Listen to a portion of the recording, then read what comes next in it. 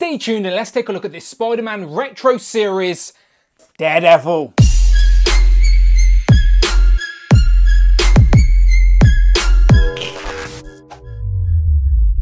Hello and welcome back to the channel, Dan Who Reviews. As always, my name is Dan Who. Make sure you are following me on Instagram at It's Dan Who. Today we continue to take a look at this Spider-Man Vintage Retro Series and in front of me we have Daredevil or the Armored Daredevil. Now, this is referred to as the 90s Daredevil because it is from the Fall from Grace storyline back in 93 and it only lasted about 20 so issues as it wasn't really liked back then. It got a lot of criticism as it wasn't the all red costume and they didn't feel like Daredevil needed armor but it had a purpose in the comics as he was going against some heavy hitters and I quite like it to be fair. It has that 90s flair uh, and I do think it stands out amongst some of the other costumes we've had, mainly just the blacks and the yellows and the reds, where this one is a little bit more armoured up, so it makes sense. We're getting a unmasked Matt Murdock head as well, and some interchangeable hands with his uh, batons as well. But again, this packaging is so nice, gives me those 90s feel. Uh, I can't remember off the top of my head if this costume of Daredevil appeared in the 90s show. I'm sure Daredevil did appear in the show, I remember that, but I'm not sure if he wore this costume. But nevertheless, they did release this figure in the early 90s as well. That's why it is on this retro card now. So again, I recommend buying two, one to keep, one to open. On the back of the card, you get a picture of all the other figures in this wave, the little gimmick that reminds us of that Toy Biz throwback card, and then you get a little write-up in case you didn't know who Daredevil was that says, Although he is blind, Matt Murdock possesses superhuman senses and courage as a superhero, Daredevil. Again, Daredevil is one of my favourites. And uh, yeah, this figure's looking very nice. So I'll compare him to some of the other releases and whatnot. But without further ado, let's get him open. So here we have Daredevil out of the box, and first impressions are quite high of this guy. I do think this is going to be the sleeper hit of the wave. Just looks really nice. I like the costume design. It's an alternative look for Daredevil, which I appreciate for the shelf. So he does come with some nice accessories. We get a new sculpted uh, Matt Murdock head. It isn't just a reissue of a previous head, which I like. We're getting some interchangeable hands so we can hold his billy clubs. Now we've seen these billy clubs before. Uh, they're the same old ones, but you can see he doesn't have a harness. That is because his billy clubs are actually attached to his sort of uh, wrist gauntlets, if you will. So you can have the wrist gauntlets with the billy clubs attached, and they even give you some uh, wrist cuffs without the billy clubs attached for when he is holding them. So you can have both looks, which I like. I like the outfit colours as well, the black with that sort of candy red chrome.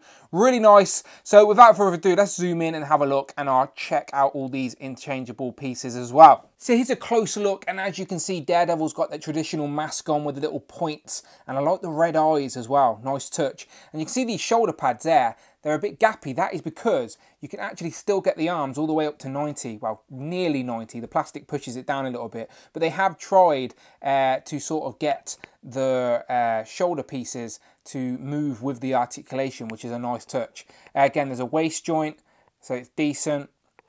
And does seem like a whole new sculpted body, to be fair.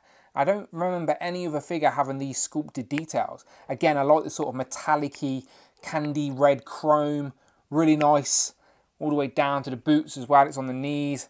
The shins, you got some silver. Um, yeah, liking it a lot. Um, I don't understand why the people of the 90s did not like this. So this, as I said, people of the 90s, in 93, in Daredevil issue 321, is when we first seen this outfit. And I said he only had it for a little bit, but it did last two years. It wasn't until 95 in Daredevil 345 uh, where he actually went back to his more traditional, iconic all-red outfit. And the actual cover of that comic, he's holding this outfit, but in as he sort of retires it. And I'm not sure he's wore it ever since. But you can see how the Shadowland sort of armor uh, outfit takes inspiration from the black and the reds of this one. Uh, but yeah, this is very nice. So again, whole new body by the seam of it. Well, not whole new body, but definitely new sculpted parts. So he comes packed with two fisted hands on as you need Daredevil pinching and then these gauntlet pieces which I've already shown off. So these gauntlet pieces have the billy clubs attached but he does have interchangeable hands which we see here, so we can hold the billy, uh, billy clubs. So we're going to swap them on, swap out these pieces as well, these cuff pieces, so we can see the alternative look for Daredevil. So there you go, there's the swap. He is now holding his billy clubs with the alternative hands. And again, we've seen these billy clubs before, they do attach, but instead of the harness, we have these interchangeable pieces. So now you can make it look like they're attached to his cuffs, or if you prefer, you can just have the silver cuffs on. You don't even have to have him holding his billy clubs. It's completely up to you what look you want him to have. But you do have options, and I always appreciate that. So here we have the Matt Murdock head and I really like this one. Uh, it's different sculpt to the previous one, so we do have some options. Some people may want to use this as Scott Summers if you want to, but I don't think Scott Summers had red hair. Uh, but it has got the red glasses and he's still got the red eyebrows as well. But yeah, this one is looking nice to be fair. So here we have our Daredevil comparison. I believe this is the Amazon exclusive Defenders 4-pack version. And obviously this is the black Shadowland version. I actually like the boots and the wrist wrap on this one. It just has a more of a sort of uh, gritty look.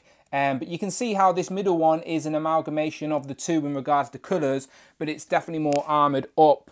Um, as I said, he goes against some heavy hitters in the 90s and he needed some armour. Um, so it's not a bad thing at all.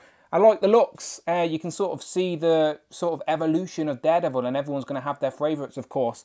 Um, but I think obviously the all red is still going to be the most iconic look for Daredevil. Here we have Daredevil compared to Elektra, and since Hasbro hasn't given us any uh, hand ninjas yet, here's an articulated icon which scale perfectly with Marvel Legends. Here we have Daredevil compared to some other figures we've been looking at recently. There's the Mary Jane head on the old Mary Jane body, Gwen Stacy, of course, Peter Parker, and then the retro Spider-Man. So moving her out the way, this wave so far is looking great. And in case you're wondering, yes, the Matt Murdock head does pop onto this Peter Parker body, no problem at all. So if you wanted a street clothed uh, Matt Murdock, then this isn't a bad shout. So final thoughts, I think any Daredevil fan is going to be happy with this one, especially if you're a fan of this particular costume from the 90s.